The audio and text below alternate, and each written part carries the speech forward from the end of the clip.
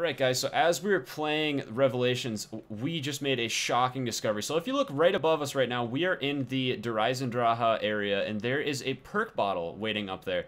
Now some of you are going to be like, holy hell, how do you get up there? But I did this accidentally the first time. So if you'll look right here, there's a massive, massive hole in the wall.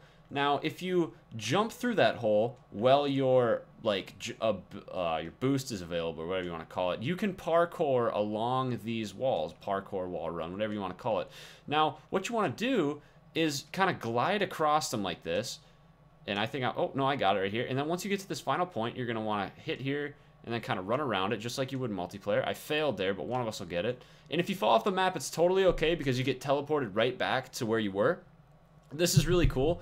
And from the looks of it, each player can do this because Brian already did this once and he was rewarded from it. And Jimmy hasn't quite got it yet, but neither have I. And I think that you can get up to three free perks from this location, which is really cool. Let's see if we can get it again here. Hopefully the timer doesn't expire before I get up. Oh, yeah, it did. Yeah, okay. We'll have to wait one more time to get that.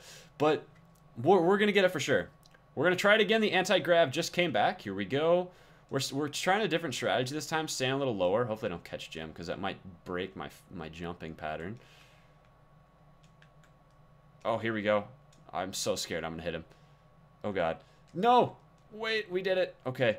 So, no, we're here. Hold on. We got it. We got it. We got it. There we go. Another perk. Electric Cherry. Nice. So yeah, guys, I just wanted to share that little tr like trick with you guys we just figured out. That was super awesome. I can't believe that like we found that. I it was just totally by chance too. But yeah, if you did like the video and it helped you out, please be sure to like, comment, subscribe, guys, and we will see you in the next Revelations video.